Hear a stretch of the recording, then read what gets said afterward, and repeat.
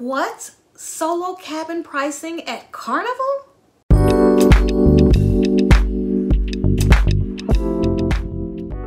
Hello everybody, I am Cherlyn Michaels, SIG Cruiser, that's solo, introvert, and gluten-free cruiser. Hey, if this is your first time visiting my channel, feel free to hit the subscribe button and the notification bell so that you'll know when I upload a fresh new video, and like and share. So a common question or common comments that I get about solo cruising is, hey, don't you have to pay double? Or I would love to cruise solo and I would if I didn't have to pay double, but it's so much more expensive than cruising with somebody else. Or I can only afford to cruise if I have a roommate. So before the cruising industry pretty much shut down, I actually did a comparison on a couple of different ships similar cruises and I was actually pretty surprised at what I found. So I knew I wanted to do a video about it.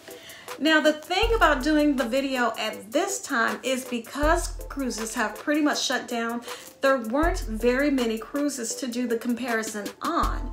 But I did manage to find one cruise to do a kind of similar fair comparison, but I know I'm gonna have to do this video again when we start cruising again, when there are more cruises scheduled across each lines to do a fair comparison.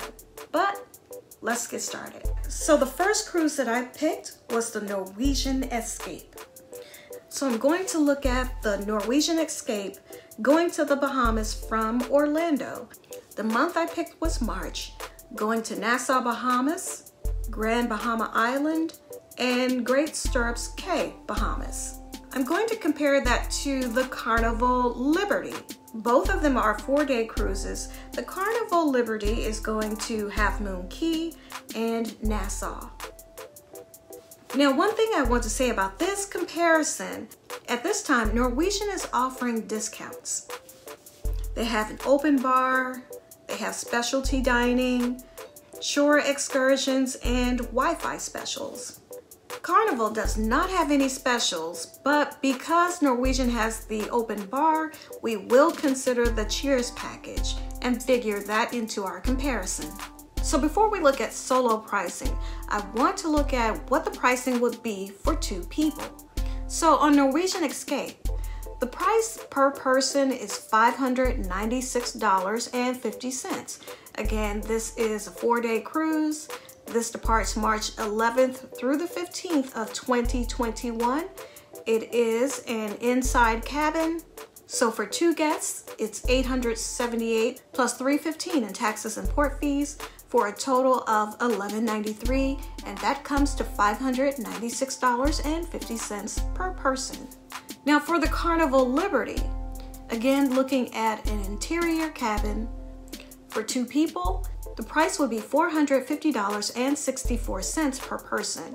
But we're going to add in the Cheers package to get a similar comparison to the Norwegian Escape since the open bar is already included in that. So that would bring it up to $710 per person with the Cheers package on the Carnival Liberty. Now we'll look at solo cruising. Now on the Norwegian Escape, they have solo cabins, so that's what I picked for our comparison. So looking at the Norwegian Escape, a solo cabin on this four-day cruise would be $806.50. Now let's compare that to the Carnival Liberty. Now Carnival does not have solo cabins on any of their ships. But to do the comparison, I picked an upper-lower interior.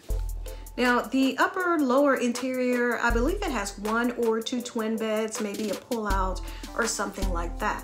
So the upper lower interior is $694.64 per person.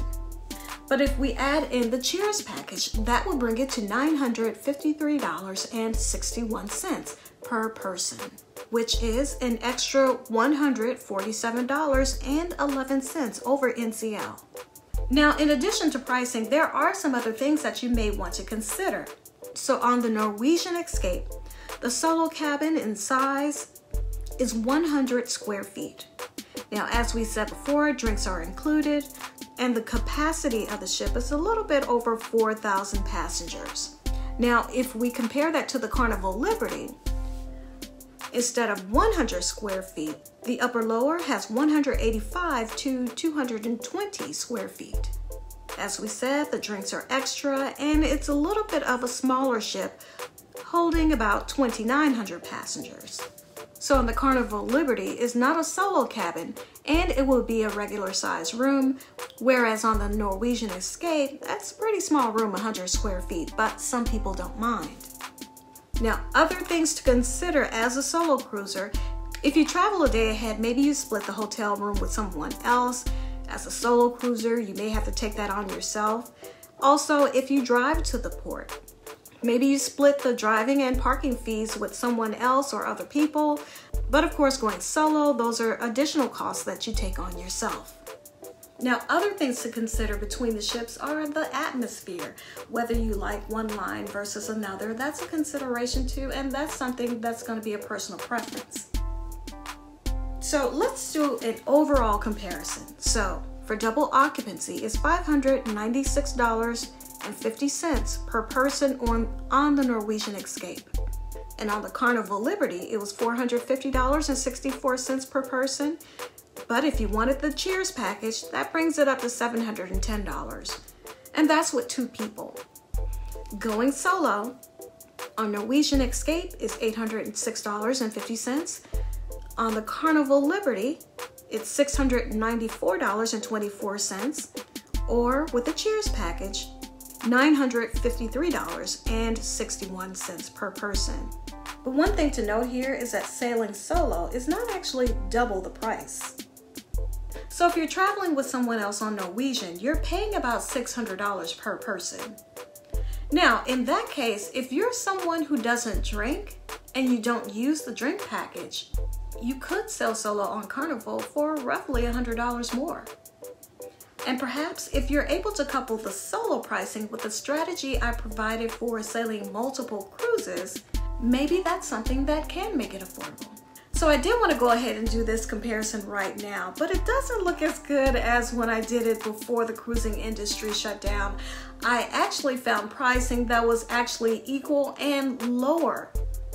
So if you haven't done this before, this may be an exercise that you want to try. But like I said, I am going to try this again in the future. So hey, if you like today's video, why don't you go ahead and hit that thumbs up? And again, if this is your first time visiting my channel, feel free to subscribe, hit the notification bell, like, and share. All right.